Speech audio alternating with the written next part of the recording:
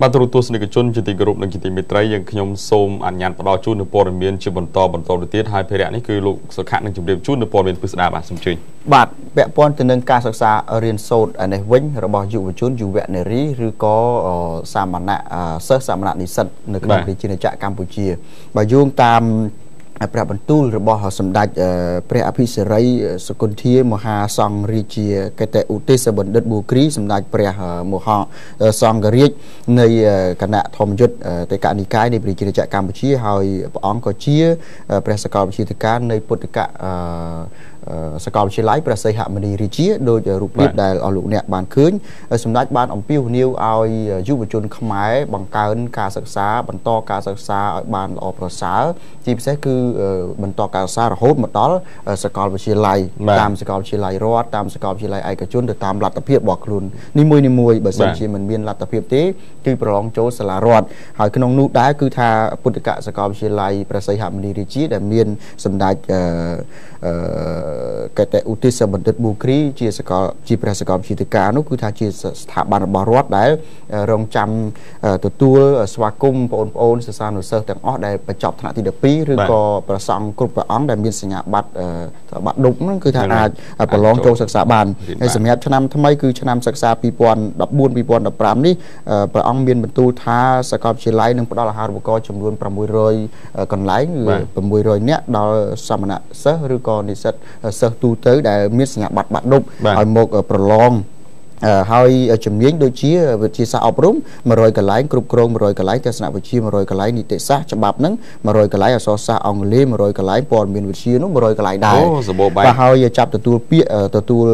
ហារូបករណ៍នេះពីថ្ងៃទី15ខែមករាឆ្នាំ2014នេះរហូតដល់ថ្ងៃទី23ខែមីនាឆ្នាំ2014ចំពោះពេលប្រឡងដើម្បីទទួលបានអាហារូបករណ៍គឺនៅថ្ងៃទី4ខែមេសាឆ្នាំ2014ហើយចូលរៀនថ្ងៃទី5ខែឧសភាឆ្នាំ2014អញ្ចឹងសូមបងប្អូនសិស្សានុសិស្សឬក៏ព្រះអង្គគ្រប់ព្រះអង្គដែលមានសញ្ញាបត្របាក់ឌុបហ្នឹងគឺថាមកប្រឡងដើម្បីទទួលបានអាហារូបករណ៍គឺសិក្សាដោយមិនគិតថ្លៃនៅសាកលវិទ្យាល័យនេះជាស្ថាប័នរបស់រដ្ឋអញ្ចឹងសូមស្ដាប់នៅព្រះបន្ទូលអំពីនីវរបស់សម្ដេចកេតេឧទេសបណ្ឌិតប៊ូគ្រីជាបន្តទៀតបាទនេះគឺថាសូមប្រគេនសូមជម្រាបដែរតែថាសាលាពុទ្ធិកសកលវិទ្យាល័យប្រសិទ្ធមូលរាជាយើងនេះ មិនបានប្រកាន់ណាមិនបានប្រកាន់អឺ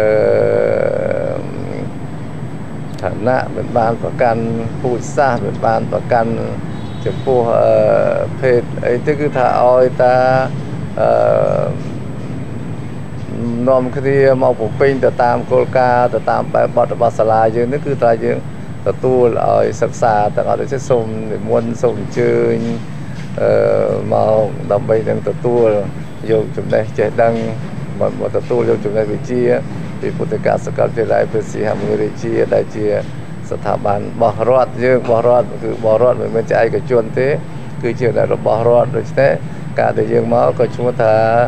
យើងលើកតម្កើងស្ថាប័នរបស់រដ្ឋយើងនឹងបរិបអំណាចយើងនឹងណាឲ្យបានរុងរឿងឲ្យបានធំថ្កើងហើយយើងក៏បានទទួលនៅចំណេះចេះដឹងនេះសូមប្រគេនពរនិងសូមជូនពរនៅក្នុងឱកាសពេលនេះ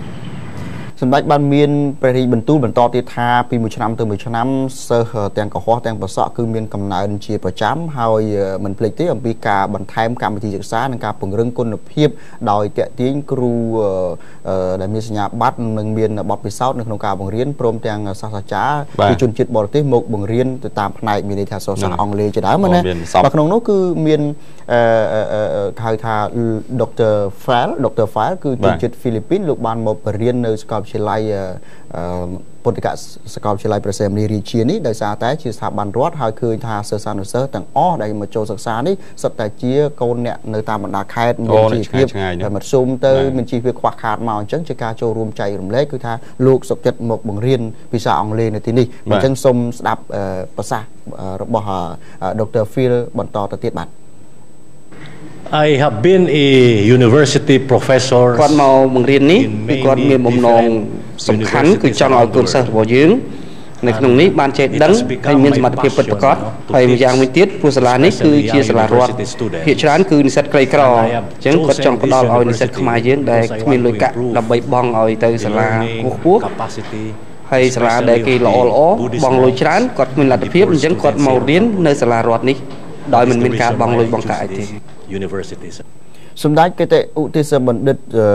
ប៊ូគ្រីបានចាត់ទុកថាការសិក្សា គឺជាគ្រឿងដ៏សំខាន់សម្រាប់ឲ្យជីវិតជោគជ័យនិង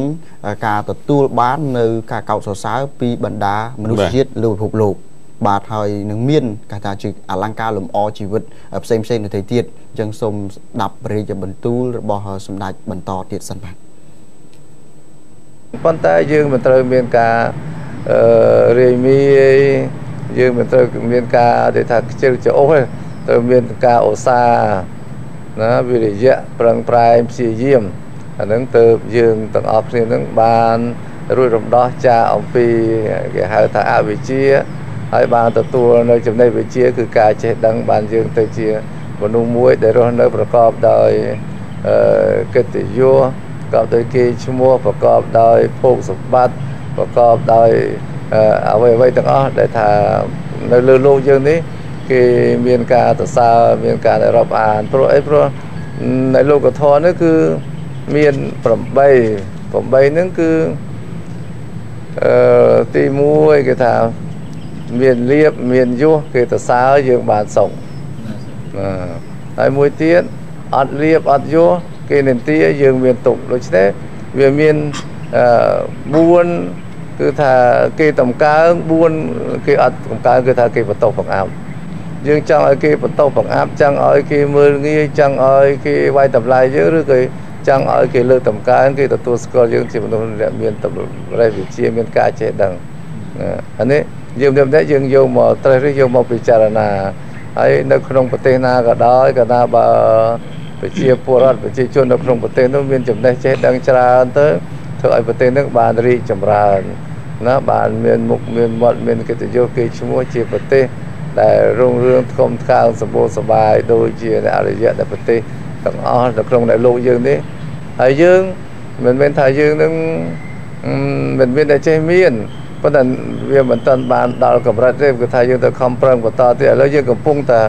កំពុងតែសិក្សាកំពុងតែរៀនសូត្រកំពុងតែ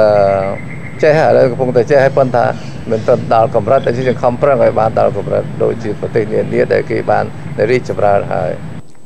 បាទចាប់តាំងពីដំណើរការមកសាកលវិទ្យាល័យប្រសិទ្ធមនីរាជាគឺមានសាមណនិស្សិតសាមណនិស្សិតនិងនិស្សិតនោះប្រមាណជាង2000នាក់ហើយទាំងថ្នាក់បញ្ញាបត្រនិងថ្នាក់អនុបណ្ឌិតផងដែរហើយកំពុងតែដំណើរការថ្នាក់អនុបណ្ឌិតមុខជំនាញផ្សេងផ្សេងជាច្រើនទៀតហើយក្នុងនោះគឺមានអាគារមួយដ៏ថ្មីសន្លាងដែលកសាងក្រោមការ ជួយថវិកាជាង40ម៉ឺនដុល្លារសហរដ្ឋអាមេរិកពីសម្ដេចអគ្គមហាសេនាបតីតេជោហ៊ុនសែននាយករដ្ឋមន្ត្រីនៃប្រជាជាតិកម្ពុជាអញ្ចឹងសូមជម្រាបជូនដល់សាធារណជនម្ដងទៀតជាពិសេសបងប្អូនដែលមានសញ្ញាបត្របាក់ឌុបនៅតាមបណ្ដាខេត្តទាំងអស់ហ្នឹងគឺថាសូមអញ្ជើញមកតាក់ទងសាកលវិទ្យាល័យទៅក្នុងវត្តស្វាយពពែគឺចាប់ទទួលពាក្យដើម្បីប្រឡងហារូបករណ៍ពីថ្ងៃទី15ខែមករានេះរហូតដល់ថ្ងៃទី23ខែមីនាអញ្ចឹងសូមអញ្ជើញតាក់ទងចុះនេះគឺជាក្រុមនិស្សិតដែលកំពុងតែធ្វើបទបង្ហាញមានន័យថាលោកគ្រូដាក់កិច្ចការស្រាវជ្រាវឲ្យធ្វើណានឹងគេហៅអាសាញមិនពីសអង់គ្លេសអរគុណចឹងសូមអនុញ្ញាតបញ្ចប់ត្រឹមហ្នឹងឲ្យជូនវិរៈទៅលោកបត្រាបន្តចុះអរគុណឥឡូវយើងវិលត្រឡប់ទៅកាន់វិស័យយោធាវិញគឺនៅក្នុងក្រសួងការពារជាតិបានលើកឡើងក៏ដូចជាបន្តពង្រឹងធ្វើយ៉ាងណាដើម្បីរៀបចំបង្ហាញបង្ហាត់បង្ហាញទៅដល់កងកម្លាំងក៏ដូចជាកងទ័ពឲ្យមានបច្ចេកទេសឲ្យបានត្រឹមត្រូវនៅពេលដែលកើតមាននៅបដិបហេតុផ្សេងផ្សេងដែលបានកើតឡើងហើយបើតាមមន្ត្រីជាន់ខ្ពស់នៃអគ្គបញ្ជាការដ្ឋានកងយុទ្ធពលខេមរៈភូមិន្ទបានលើកឡើងថានៅក្នុងឆ្នាំ2014នេះនឹងពង្រឹងបន្តនៅការវឹកវើជំនាញទៅផ្នែកផ្នែកបច្ចេកទេសដល់កម្លាំងកងទ័ពជាបន្តបន្តរហូតទៅទៀតហើយបើតាមការលើកឡើងរបស់លោកអាដាមនាយអាដាមសេនីប៉ុលសរឿនដែលជាអគ្គមេបញ្ជាការកងយុទ្ធពលខេមរៈភូមិន្ទ បានជួបសំណេះសំណាលនៅក្នុងអង្គពិធីសរុបលទ្ធផលការងារ Work Burn ឆ្នាំ2013នោះគឺបានផ្សព្វផ្សាយផែនការ Work Burn ឆ្នាំ2014បន្តនៅក្នុងអគ្គបញ្ជាការដ្ឋាននៅព្រឹកថ្ងៃទី22ខែមករាកន្លងមកនោះគឺអាដាមបានលើកឡើងថានៅក្នុងឆ្នាំ2013កន្លងទៅនោះគឺចំពោះការងារ Work Burn ដល់កងកម្លាំង កងយុទ្ធពលខេមរៈភូមិន្ទគឺទទួលបានជោគជ័យផ្លែផ្កាគូជាទីមោទនៈដែរហើយឯកឧត្តមបន្ថែមពីលើនឹងថាកន្លងទៅថ្មីថ្មីនេះគឺកងកម្លាំងកងយុទ្ធពលខេមរៈភូមិន្ទបានបង្ហាញអំពីលទ្ធផលជាក់ស្ដែងក្នុងសកម្មភាពវឹកវើការអនុវត្តដោយចាត់ការរៀបចំជាបន្តបន្ទាប់នៅការពង្រឹងខឿនសុវត្ថិភាពរបស់ខ្លួនចាត់តាំងបាញ់គ្រាប់ ពិតកំភ្លើងធំកំភ្លើងការពារអាកាសនិងការបាញ់គ្រាប់ពិតកំភ្លើងប្រតិកម្ម OM70 BM21 និង MP1 ប្រកបទៅដោយជោគជ័យហើយបើតាមការលើកឡើងបន្ថែមថាជាការជោគជ័យមួយដ៏ល្អប្រសើរនៅលើឆាកអន្តរជាតិដែលកម្ពុជារបស់យើងបានបញ្ជូនកងកម្លាំងបោះសម្អាតមីនទៅ បំពេញបេសកកម្មក្នុងក្របខ័ណ្ឌអង្គការសហប្រជាជាតិដែលគេហៅថាក្រមឆាត់នៅក្នុងអង្គការនោះហើយក្នុងនោះដែរគឺខាងកម្ពុជារបស់យើងបានបញ្ជូនកងទាហានកងកម្លាំងរបស់យើងទៅកាន់ប្រទេសស៊ូដង់មានប្រទេសឆាតអាហ្វ្រិកកណ្ដាលលីបង់នឹងត្រៀមបំពេញបេសកកម្មពហុខ្នាតរួមគ្នានៃអង្គការសហប្រជាជាតិបន្ថែមដើម្បីធានាស្ថិរភាពក្នុងប្រទេសម៉ាលីបាទហើយ តេតិននឹងការវឹកវើនេះដែរគឺត្រូវបានបន្តអភិវឌ្ឍផ្នែកធនធានមនុស្សធ្វើម៉េចគឺក្នុងវិស័យការពារជាតិយើងដោយពង្រឹងនៅហេដ្ឋារចនាសម្ព័ន្ធវឹកវើតាមរយៈការបង្កើនគុណភាពវឹកវើទៅតាមសាលាវឹកវើនិងបណ្ដុះបណ្ដាលឲ្យមានតាមប្រព័ន្ធអប់រំថ្នាក់ជាតិជាពិសេសនោះគឺអាចវឹកហាត់ខាងផ្នែកបច្ចេកទេសផ្សេងផ្សេងក្នុងការការពារការអភិវឌ្ឍការលើកស្ទួយជីវភាពរស់នៅរបស់បងប្អូនប្រជាជននៅក្នុងស្រុកយើងនិងបន្តទៅជួយស្ថិរភាពឲ្យមានការរលូនក៏មានការអភិវឌ្ឍបន្តបន្តទៅទៀតនៅក្នុងប្រទេសដទៃដែលយើងបានបញ្ជូនទៅកាន់ឆាកអន្តរជាតិបន្តបន្តនោះបាទ ខ្ញុំដូចជាមានព័ត៌មានពាក់ព័ន្ធរឿងកងទ័ពដែរអញ្ចឹងសូមជូនមួយរឿងដែរបាទនៅថ្ងៃ21ថ្មីថ្មីហ្នឹងគឺថានៅកងពល911គឺថាមានការប្រជុំបូកសរុបលទ្ធផលចលនាប្រឡងប្រណាំងឆ្នាំ2013ហើយក្នុងនោះគឺថា មានអាដាមម្ដំសនីឯកចាប់ពាក់ក្តីដែលជានាយរងសេនាធិការចម្រុះនៃកងយុទ្ធពលកាមេរ៉ាភូមិន្ទនិងជាមេបញ្ជាការកងពលតូចតបពិសេសឆាត់យង911ជាអធិបតីក្នុងការបូកសរុបកិច្ចការងារនោះហើយហៅថានឹងការលើកទិសដៅឆ្នាំ2014គណៈកម្មការប្រឡងប្រណាំងរបស់កងពលតូចតបពិសេសឆាត់យង911នេះមានខ្លឹមសារនិងចំណុចសំខាន់ចំនួន5ទី1គឺការងារប្រយុទ្ធនិងការត្រៀមប្រយុទ្ធឲ្យល្អទី2ការហ្វឺនល្អទី3សាមគ្គីនិងវិន័យល្អ ទី4នោះធានាជីវភាពរស់នៅរបស់កងទ័ពល្អប្រសើរនិងទី5ចុងក្រោយគឺការសន្សំសំចៃច្នៃប្រឌិតឲ្យបានល្អប្រសើរនៅក្នុងឱកាសនោះដែរអាដាមអាដាមសនីឯកចាក់ពាក់ក្តីលោកបានថ្លែងថាការងារប្រឡងប្រណាំងនេះមានសារៈសំខាន់ណាស់ដែលទាមទារឲ្យមានបញ្ជាការគ្រប់កងឯកភាពទាំងអស់តាមបណ្ដាផែនចំណុះទាំងអស់ហ្នឹងសំខាន់គឺថាកងទ័ពម្នាក់ម្នាក់ត្រូវតែសកម្មចូលរួមដើម្បីដណ្ដើមស្នាដៃហើយមិនតែប៉ុណ្ណោះគណៈកម្មការអនុគណៈកម្មការទាំងអស់ហ្នឹងត្រូវតែពិនិត្យតាមដានឲ្យបានម៉ត់ចត់រកឲ្យឃើញអង្គភាពនិងបុគ្គលឆ្នើមដើម្បីលើកសរសើរជូនរង្វាន់ហើយក៏ជាការរួមចំណែកលើការពង្រឹងពង្រីកកងឯកភាពរបស់ខ្លួនឲ្យមានភាពរីកចម្រើន គ្រប់វិស័យនិងប្រាជ្ញាសម្រេចឲ្យបានជោគជ័យក្នុងការវិវត្តផែនការរបស់អង្គភាពក៏ដូចជាការចូលរួមចំណែកកែតម្រង់កងយុទ្ធពលខេមរៈភូមិន្ទជាពិសេសគឺថាគោលនយោបាយរបស់រាជរដ្ឋាភិបាលអាណត្តិទី5នេះតែម្ដងបាទ បាទអរគុណណាពេលវេលាយើងខោចដែរប៉ុន្តែសូមជូនព័ត៌មានមួយខ្លីពាក់ព័ន្ធទៅនឹងស្ថានភាពការដំឡើងប្រាក់ឈ្នួលអបបរមារបស់បងប្អូនកម្មករកម្មការនីបាទបើយោងតាមព័ត៌មានដែលផ្សព្វផ្សាយ គេឃើញថានៅថ្ងៃទី5ខែកុម្ភៈខាងមុខនេះគឺគណៈកម្មការសិក្សាស្រាវជ្រាវដើម្បីដំឡើងប្រាក់ឈ្នួលអបបរមាដល់កម្មករកម្មការនីនឹងចាប់ផ្ដើមប្រជុំដែលធ្វើនៅក្នុងហៅថា CDC បាទ CDC ក្រមឧស្សាហ៍អភិវឌ្ឍកម្ពុជារនឹកខ្មែរមិនចង់ឃើញបាទក្រោមអធិបតីអាដាម បញ្ញយុរដ្ឋមន្ត្រីគៀតឈុនដែលជាប្រធានគណៈកម្មាធិការនេះបាទទន្ទឹមនឹងនោះដែរគេឃើញមានសហជីពប្រមាណជា64បានចេញសេចក្តីថ្លែងការណ៍កាលពីម្សិលមិញនេះដាក់ទៅអាដាមរដ្ឋមន្ត្រីក្រសួងការងារគឺអាដាមអឺឥតសំហេងដើម្បីឲ្យចាត់វិធានការចំពោះអ្នកដែលបង្កឲ្យមានអំពើហិង្សានិងគម្រាមកំហែងដល់កម្មករកម្មការិនីដែលជាសមាជិករបស់សហជីពទាំង64របស់ខ្លួននៅក្នុងនោះខ្ញុំបានទទួល គឺមាន3ចំណុចទី1ហ្នឹងគឺថាខាងសហជីពទាំង64ហ្នឹងចង់ឲ្យ